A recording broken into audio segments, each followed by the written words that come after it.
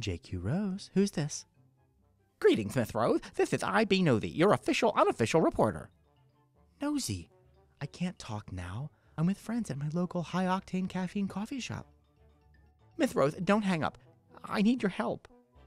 My help? Huh, that's interesting. What's up? Yeah, see, a Miss Bleachy Blonde from Girls Just Want to Be Nosey, that's a dedicated fan club of mine, you know, wants to schedule an interview on the very date I'm to meet with you, and, well, you know, how accom- uh, accom- accom- uh, that is, accommodating. Right, or how agreeable I am to gorgeous, giggling girlies. um, I mean, uh, I mean, uh, what a professional reporter I am. Don't even go there. No one is messing up my interview, especially some bleached blonde. Actually, that's a bleachy blonde. Ha, more like Clorox, you mean. No, Nosey, our date is firm. But I'm going to talk about my book, Coda to Murder. You've got that information written down, right? Um, how could you forget it's about Pastor Christine Hobbs, who's been in the pulpit business for over five years, and of how she never imagined herself caring for a flock that includes a pig, a kangaroo, and a murderer. Um, well, you, you see, Miss Blonde wants to talk about how uh, she admires a hunk with a microphone. and, um, of course, I'm, I'm more than willing. Nosey, the only thing you'll be discussing is how Detective Cole Stevens doesn't want the pretty pastor to get away with murdering the church music director.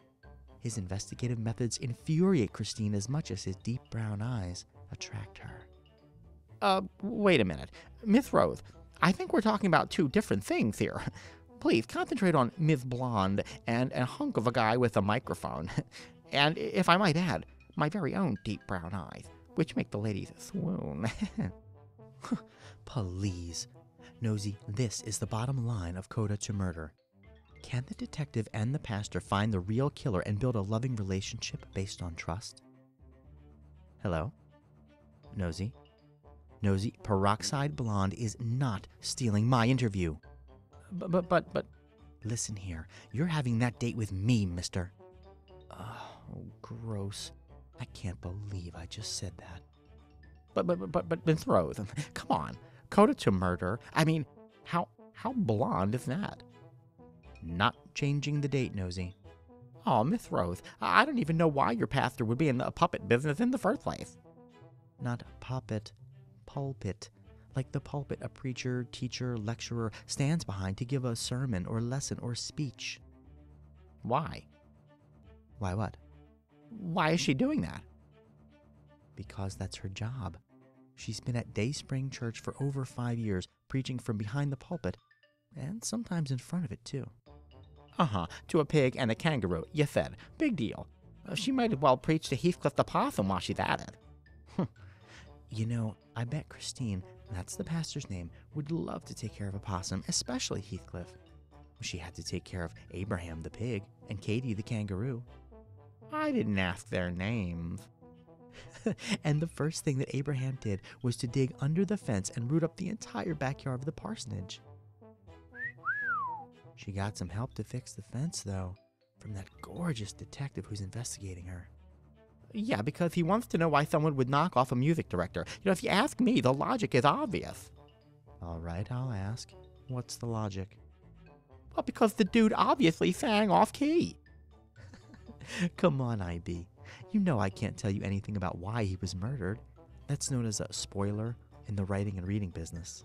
But if I reveal he sang off key and it ruins the story for my readers, then they would chase me down and steal all my Gumdrop Island chocolates. Well, you know, now that I think about it, you might have a point. Sure, I do. After all, you've experienced something like that, right? So I'm sure you wouldn't wish it on me. Hey, wait a sec.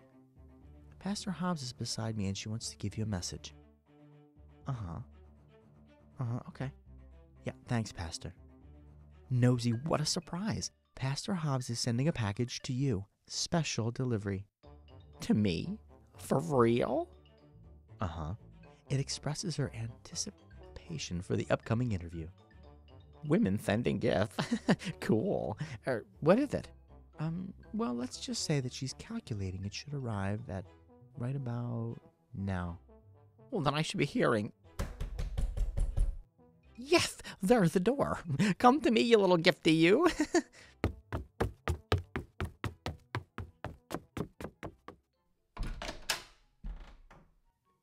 ah!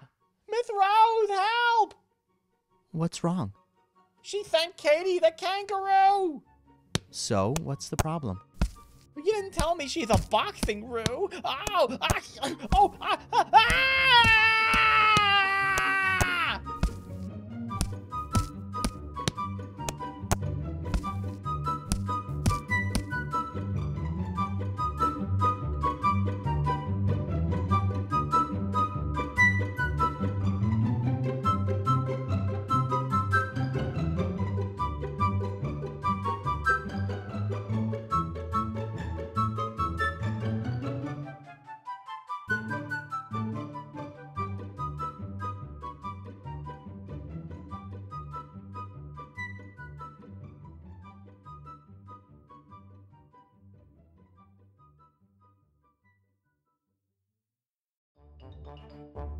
You.